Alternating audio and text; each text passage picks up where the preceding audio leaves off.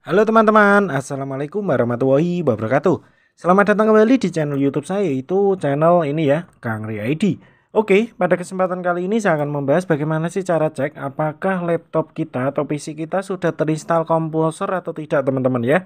Nah, di sini saya cek hanya menggunakan CMD teman-teman. Jadi nanti di situ akan muncul apakah ada komposer atau tidak. Oke teman-teman, di sini langkah pertama teman-teman bisa ketik atau klik di keyboardnya yaitu Windows dan huruf R. Oke, sampai muncul run seperti ini teman-teman ya. Nah, setelah muncul run seperti ini, teman-teman bisa diketikkan saja CMD teman-teman. CMD ya, oke. Diketik CMD seperti ini. Apabila sudah langsung di enter atau klik OK ya.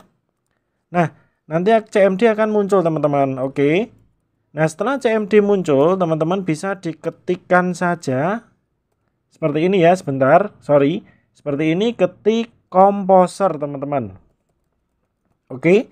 Nah setelah diketik komposer seperti ini teman-teman langsung di enter saja ya. Ini komposer teman-teman di enter nah di sini ternyata di laptop saya belum terinstall komposer teman-teman. Makanya muncul komposer is not recognized is an internal or external command ya. Jadi nggak akan muncul.